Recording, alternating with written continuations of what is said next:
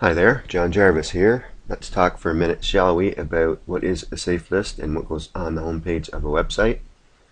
First, what is a safe list? A safe list is a form of email marketing where the members have agreed to receive each other's messages. Now you might be thinking, why would a SEO guy even think about using safe lists? And I'm about to show you. This is a website that I built two days ago and over here on the right side, this is the Feedjit widget. Yesterday I posted to two safe lists and watch what happened.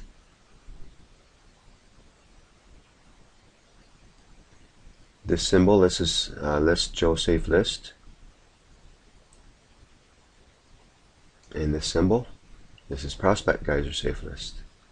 Look at all the visitors within 24 hours. Look at all the different countries they're from. So do safe lists work? Certainly they do. Okay, now how does that apply to what goes on the home page of a website? Well, this is my personal website. I'm going to put this video and post actually on it. On your personal website should be about you. And this is going to be our business website. And since there are people coming to it already, I need to fix up the home page. So what I'm going to do is pause this video and go and copy some HTML from another website and fix this home page up and I will be back. Okay, I'm back. Home page is changed.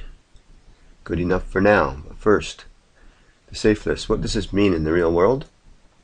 As you can see yesterday, just from the posting to safe lists three subscribers to my list. And what's this all about? Building a contact list correct? Anyway this is what the web page looks like right now. I will leave a link in the post. And for great tips like this you can actually join the Sakura project free or get on the Nanoteam newsletter from this website